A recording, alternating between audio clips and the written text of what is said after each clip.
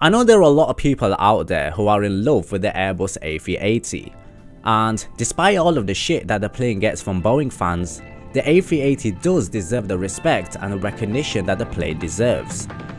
But we're getting to a point within the aviation market where things are changing. We're moving towards more fuel efficient aircraft and the need for the double decker 4 engine planes is slowly dying out. It's even gotten to the point where there is no longer any use for the plane and is being sent to the scrapyard. But at the time when the A380 was launched, the Airbus company envisioned that the plane would revolutionize the market.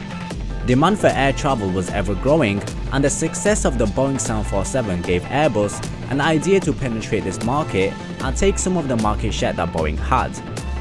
At the time when the idea was put pen to paper, the largest aircraft that Airbus offered was the A300.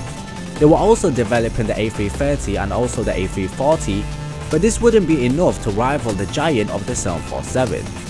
So the years rolled on and Airbus stood in the market and they projected that demand would grow to an extent that it would be difficult to carry a large volume of passengers due to the airport slot restrictions. After many years of studying and research and development, Airbus finally launched the A380 as the A3XX. They knew that the plane would do well within the Asian market and they used the clever tactic of naming the A380 with the number 8 because in some Asian countries 8 is seen as a lucky number.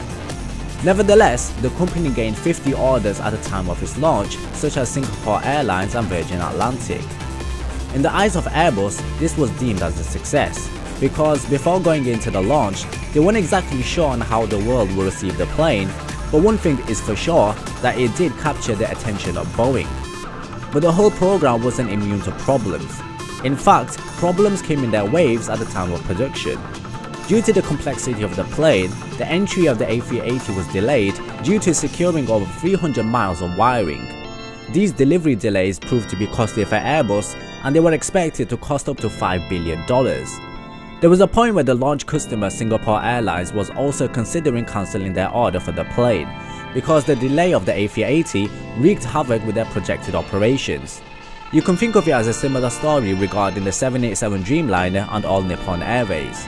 Nevertheless, the plane was delivered in 2007 and it was flown from Singapore to Sydney.